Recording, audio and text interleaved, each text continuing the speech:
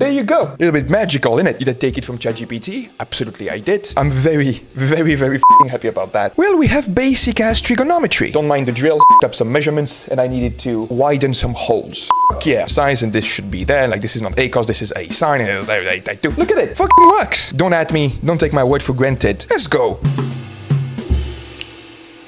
Hello everyone, welcome to this part 5 of me working on a 2D Axis of Freedom pen plotter robot. I really need to find a better name, this is getting way too long, maybe boring for like the first few seconds. I would like to try to do as many things as possible from scratch, 3D printing a bunch of parts, maybe doing a PCB design, learning a bunch of things along the way, and make one video every week showing you the progress. And this is what happened during week number 5. So first of all, during this week, my last two videos are getting some traction, and it is pretty nice to see. Again, like a big part of these videos is just to keep me accountable for creating this type of content and continuing to learn stuff essentially. But it is pretty nice to see new people arrive, interact with the content, and also giving me tips along the way. I saw that the gigantic majority of you are not subscribed to this channel and just like pop into this video series. So if you like it, do not hesitate to subscribe. Alright, let's jump into it. First of all, mechanical engineering. What is new? For the moment, I showed it to you recently. What we have right now is only what we can call like the chassis of the robot with the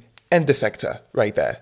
But for it to be a pen plotter, we need to hold pens and being able to tell the robot to put the pen down and off the paper, on and off the paper. Damn. So to do that, we need to start somewhere, right? So since we are still at the prototyping phase, and maybe we will never get out of that, I have to play with what I have on hand. Any maker on this planet knows what this is. This is a good old classic 9 grams micro servo motor. And I think this can be plenty of power to just lift a pen on and off paper. So obviously I don't want to reinvent the wheel. This is not the goal of this video series. So I looked into many different pre-existing designs and I think this is what we are going to do. So I have a few more sketches. This was the only picture that I had on hand right now. But yeah, essentially you have a pen with a collet around it and the servo is just going to push that up and down, maybe with an elastic so that we have constant pressure on the paper.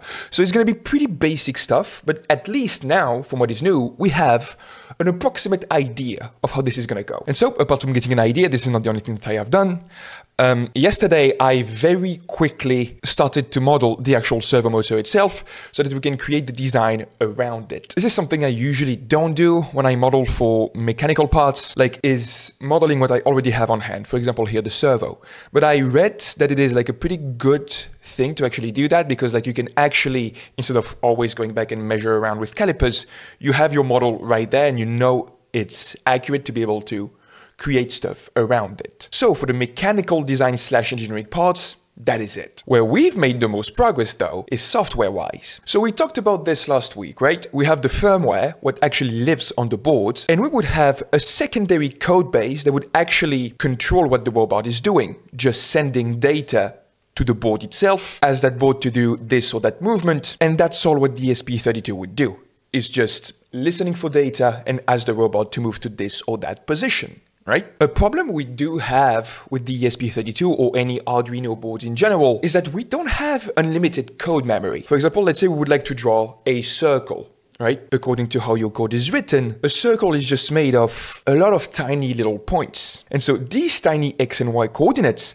are going to represent like a good amount of text according to the resolution of that circle, right? The problem with that is we can run out of actual code space on the ESP32. And we talked about that last week. I had this potential idea of actually having all of the pen logic on one part of my code base that would actually live on a PC and send those instructions, those X and Y instruction, maybe Z when we're going to have the actual pen, just send those lines one by one. And for each line, wait for the ESP to get it, execute it, and send back information of like, hey, we are done, give me the next line. So we agreed that that was the idea of how we could do it. After a lot of finicking around, I implemented that and turns out that shit works. And I am very happy and also relieved that this could actually work. So you will see there are some nifty little tiny things that we'll have to work around, but the overall idea is here. It fucking works. So right now, for example, on your left is what lives on the ESP32, and on the right is the actual Python API, if I can call it like that. And I have this subset of instructions. This is just a string with two values in it. The left part would be for the top motor, the right part, you understood it, would be for the bottom motor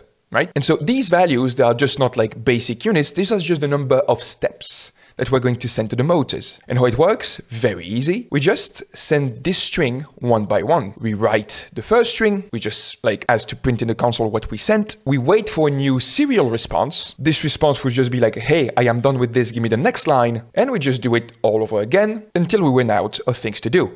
This is actually in a while loop so that it just like turns on and on and on and on for test purposes, but you get the idea. And so yeah, on the other side, I'm pretty sure you already understood what was going on, but we just wait for a new serial information, we concatenate that received string into another one, we separate it in two thanks to that nifty little function. Did I take it from ChatGPT? Absolutely I did. We allocate these two different variables to new ones for MT for motor top and MB for motor bottom. You understood that already. We wait for the motor to get in position and we rewrite some information to say like, hey, I am ready for the next line. And there you go. So that's the theory, but does it work? Hello again, this is the first time we see this view. Yeah, I just wanted to show you the actual application of what we just talked about, setting the code line by line to the actual motor and see if it works. So here is the current contraption.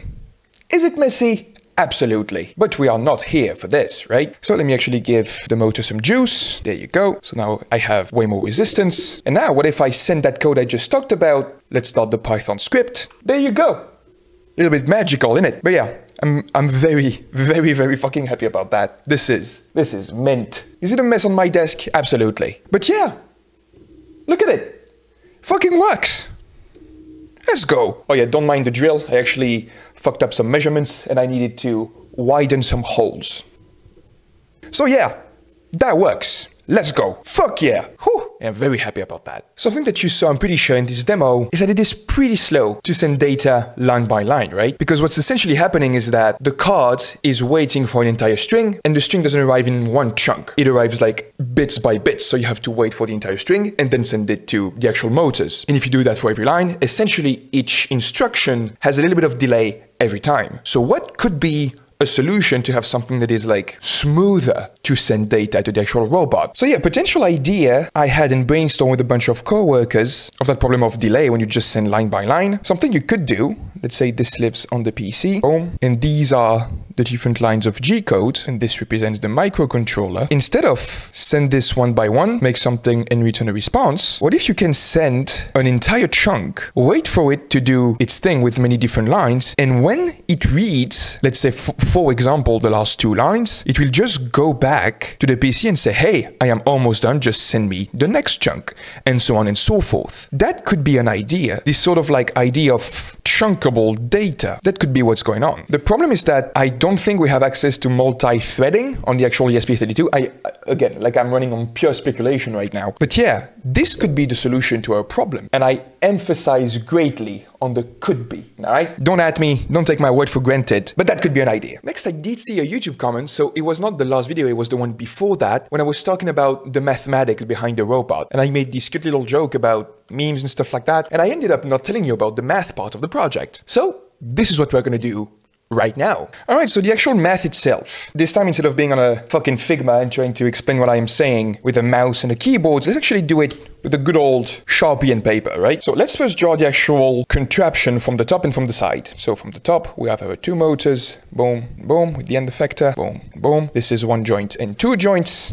And from the side, boom, this is the end effector and this is the end effector. So here is what we need. Based off an X and Y position, I would like in the output of that function two angles, theta 1, theta 2, and those would be the angles of those two motors. So I thought about it, and what would be the easiest solution to be able to have access to these two things? So first of all, what do we know? We obviously know this, well, where this needs to go, so that would be xy, and we know the length of these links that would all be the same. And actually, I thought about it a little bit, and we actually need to decompose that into two parts.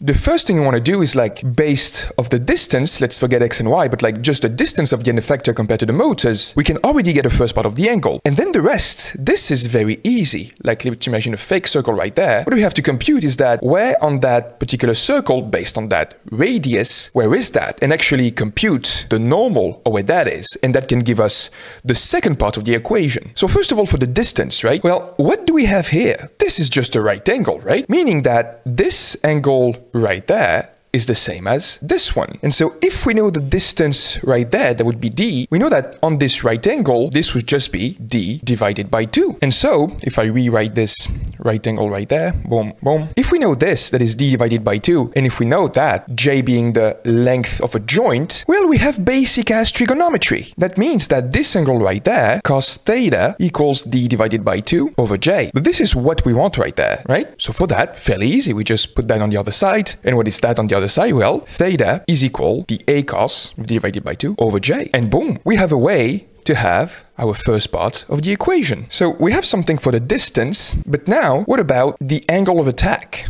right? How do we compute this, like this being xy? Well, again, very basic as trigonometry, imagining that this point right there is 0, 0. This is something we actually see quite a lot in video game development. And so the basic idea is that this angle right there that we're going to call theta index 2. This is a classic a tan 2 with minus y and x. And this is our second part of the equation, meaning that this angle would be the a cos of d divided by 2 over j plus the offset of attack that is right there, a tan 2 minus y and x. I, I am running out of space.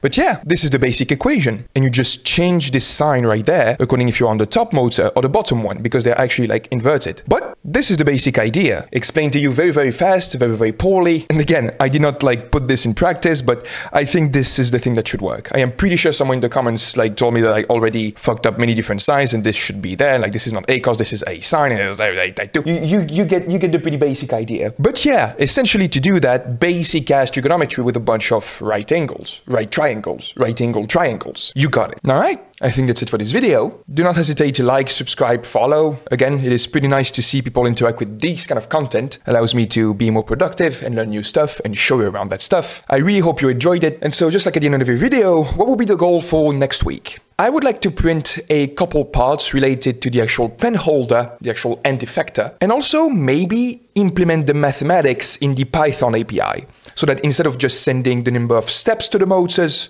we actually can say in the Python code, give it X and Y coordinates. It actually translates it into motor steps and then sends that to the robot. That would be pretty nice. So yeah, we will see how far that goes. Apart from that, thank you very much for watching. If you have any questions, please do not hesitate, interact in the comments, show it to a friend, do whatever, do your stuff. And apart from that, I see you guys later on the internet. Bye bye everyone.